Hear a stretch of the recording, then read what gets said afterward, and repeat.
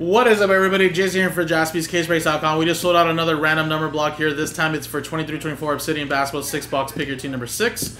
And you get a piece of the Warriors, the Pistons, the Magic, the Knicks, the 76ers, and Raptors in this second half case here. Again, if there's any hits and they're serial numbered and it matches the serial number that you get assigned from you from 0 through 9, it's going to go to you. There's your examples there on how it works. We go by the first number on the left side of the serial number dash, so there's your examples. Now remember, guys, there will be redemptions in this product. If there is a redemption for either of those teams in the title, that automatically goes to spot zero. Even if it's a one-on-one, that's just a bonus, guys.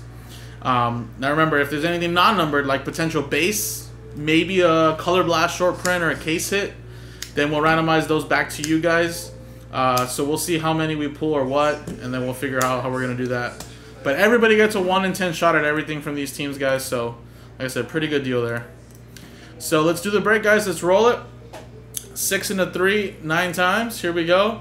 One, two, three, four, five, six, seven, eight, nine. Nine, six, three, nine. Runkle down to Julian. And then we got nine times here. One, two, three, four, five, six, seven, eight, nine. Nine times, nine, nine. Four down to two. Now again, these numbers are represent the serial number that you'll have to get to match it with the card if it pops out. So Robert Uncle, you have four. Brian Wofford with three. Paul with nine. Julian with seven and five. Peter, zero. Brian with one. Last ball mojo. Then Julian with six, eight, and two.